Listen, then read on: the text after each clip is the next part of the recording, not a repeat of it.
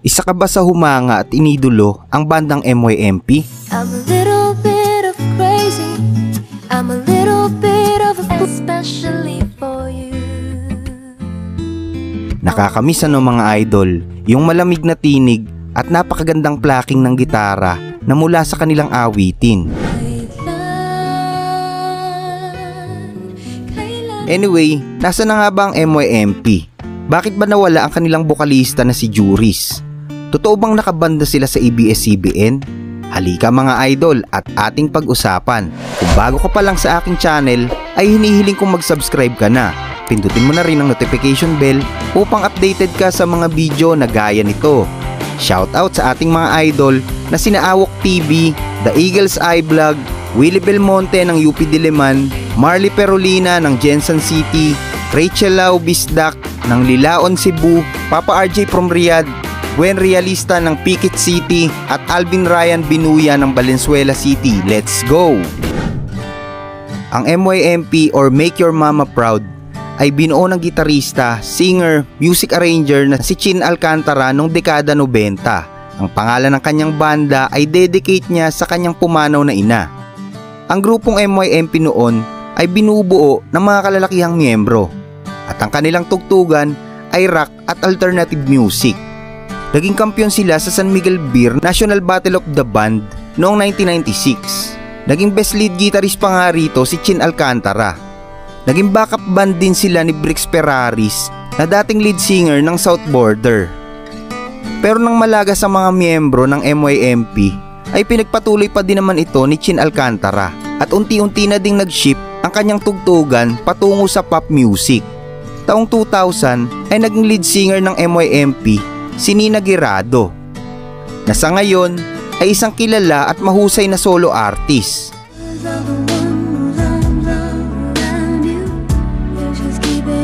Way back 1997 ay unang na-meet ni Chin Alcantara si Nina sa Miriam College dahil regular itong kumakanta sa mga school event.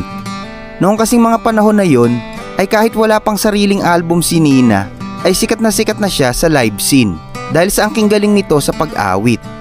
Pero sa kalaunan ay umalis din ito sa MYMP dahil nakapirma na ito ng kontrata para sa isang record label at nag-focus para sa kanyang solong karera.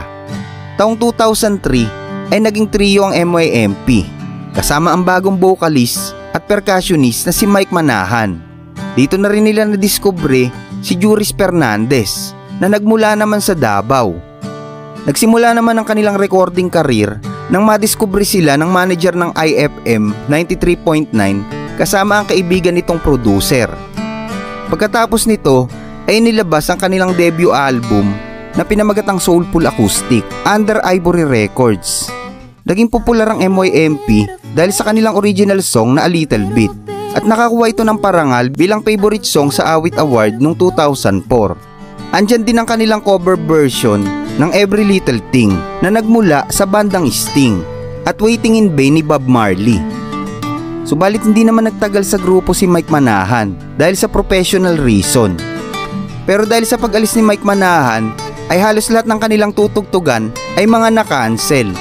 Dahil ayon sa mga producer ay di umano si Mike Manahan ang gusto at hinahanap ng mga fans dahil na din sa angking karisma, kagandahang lalaki at husay nitong kumanta. Naging malaking kawalan ito sa grupo pero hindi naman ito napigilan ang dalawa pang natitira sa MYMP na sina Juris at Chin Alcantara at nagpatuloy pa rin sila sa kanilang mga tour at pagpupromote ng kanilang album. Naging maganda ang naging tandem ng dalawang ito dahil sa malambing na boses ni Juris at husay ni Chin sa pagigitara. 2005 ay naglabas sila ng dalawang magkasunod na album na pinamagatang version at ang album na Beyond Music. Andyan ang mga awitin gaya ng For All of My Life, Especially For You, Constantly, Get Me, Magical Feeling, Would You Be My Girlfriend, at mga revival song. Ang album na ito ay pumang-anim sa Philippine Top Album Chart at wala pang isang buwan ay bumenta na ito ng 15,000 copy. At pagkalipas lang ng ilang buwan ay umabot na kaagad sa mahigit 200,000 kopya ang kanilang nabenta. Kaya naman mabilis itong nag-certified gold record. October 1, 2005 ay nag-concert sila sa The Music Museum. 2006 ay nilabas ang kanilang pang-apat na album na pinamagatang New Horizon na nag-certified platinum. 2008 ay nilabas nila ang kanilang ikalimang album na pinamagatang Now. Subalit noong 2009 ay natanggal sa MYMP ang kanilang lead singer na si Juris Fernandez dahil sa hindi pagkakaunawaan. Pero noong mga panahon na ito ay nakakontrata pa sila sa Ivory Music. Kaya naman napris ang MYMP at naghintay pa ng dalawang taon upang mag-expired ang kanilang kontrata. Hindi kasi sila pwedeng maglabas ng album na iba ang lead singer dahil nakapirma din ng kontrata si Juris Fernandez. At January 4, 2010 ay pinakilala ng MYMP ang kanilang bagong lead singer na nagngangalang Juliet Bahala na isang regional singing champ na nagmula sa lalawigan ng Davao at nailabas nila ang kanilang live album na pinamagatang The Unreleased Acoustic Collection. Pero habang nagpo-promote ang MYMP ng kanilang album ay nagsuffered naman si Juliet Bahala ng severe vocal fatigue.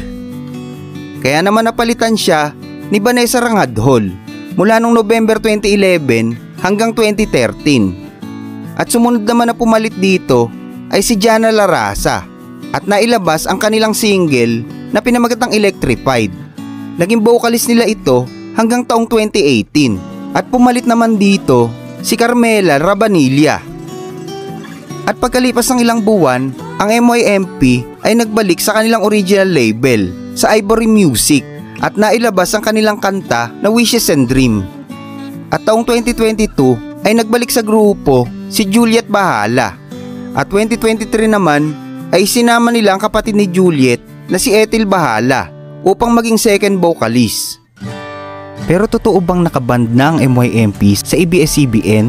Ayon sa founder ng grupo na si Chin Alcantara sa kanyang video sa kanilang official YouTube channel noong June 24, 2020 ay matagal na talagang may problema sa kanya ang nasabing network. Dahil noong 2019 ay may interview dapat sila sa Radio MOR. Pero one hour before ng kanilang interview ay nagbigay ng mensahe sa kanila ang istasyon ng radyo na hindi na matutuloy ang kanilang interview. Sa kadahilan ng inutos daw ng ABS-CBN na wag nang ituloy dahil may problema sa kanila ang MYMP. Laking gulat naman ng grupo na bakit nagkaganon. Kaya bigla na lang nagbalik sa alaala ni Chin ang masasakit na alaala niya sa nasabing TV network. Naikwento din niya ang huling guesting nila sa ASAP noong taong 2010. Yun yung araw na ipinakilala nila ang bago nilang bokalista. At pagkatapos daw ng programa ay kinausap sila ng ASAP production team na iyon na yung huli nilang paglabas sa programa at nakaban na sila sa nasabing TV network. Napagtantutuloy nila na kaya nagkaganon ay marahil ang naging dahilan ay yung pagkakaalis sa grupo ng dati nilang bokalista na si Juris Fernandez na hawak na ng ABS-CBN. Dagdag naman ni Chin Alcantara ay wala na siyang hinanakit. Unang-una ay mahigit isang dekada na ang nakalipas. Gusto lang niyang ibahagi sa mga tagahanga ang nangyari sa kanila. Pero ganun pa man ay nanghihinayang pa rin sila. Pero sabi nga niya ay moving forward na sila.